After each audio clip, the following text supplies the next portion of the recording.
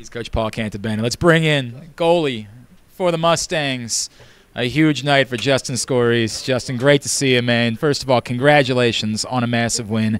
Thanks for being here. Take me through. Can you just describe what these moments are like in a, a game that's this close, late, against a big team, great crowd?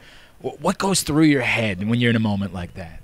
Yeah, it's uh, super crazy, but um, you just really got to stay calm throughout it. Uh, you got to take it really one shot at a time. You know, can't get you know the event, everything you know, kind of overwhelm you. Just one shot at a time. That's what I tell myself in net, and just control what I can control, and you know, help out my defense, my team, whatever way I really can. Would you see there in overtime? Did you have it the entire way?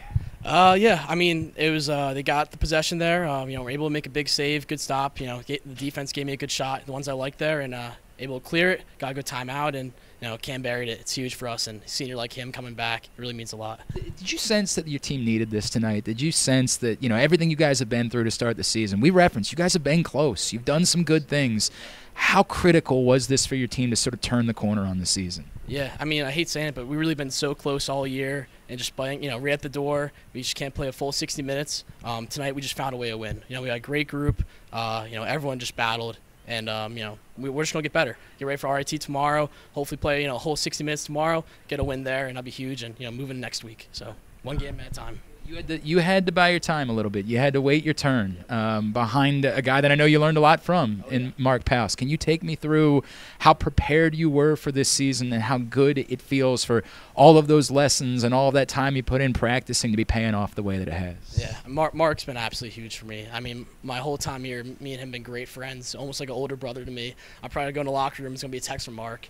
Uh, you know, he's my biggest fan. You know, we still talk. You know, even even today and you know, I learned so much behind him, preparation before a game, you know, how to handle the ups and downs. You know, goalies like Marker, you know, great, helped me out. Even goalies like Sam Ross, Damian Randall, those guys sitting behind, great people. You know, I learned so much, and you know, I can't thank those guys enough. That's awesome. All right, we're trying to get to know everybody better. Give me the uh, the last TV show that you binged from start to finish.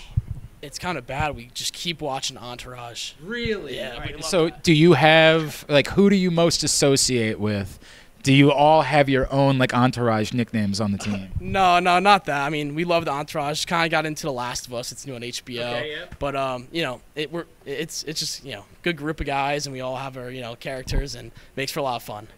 Who do we need to give shout outs to? Who's watching? You need to say hello to, give a thank you to. Uh, you know, big thanks to my, my parents. I mean, they've been supporting me the whole way, all my coaches, and uh, shout out Corey Strong. That's our guy. So, yeah, thank you. Justin, congratulations on a huge win, man. Thanks for taking the time for us tonight. Appreciate it, Glenn. Thank you. It's Justin Scorese for the entire team. I am Glenn Clark. This has been GoMustangSports.tv. We'll see you back here tomorrow.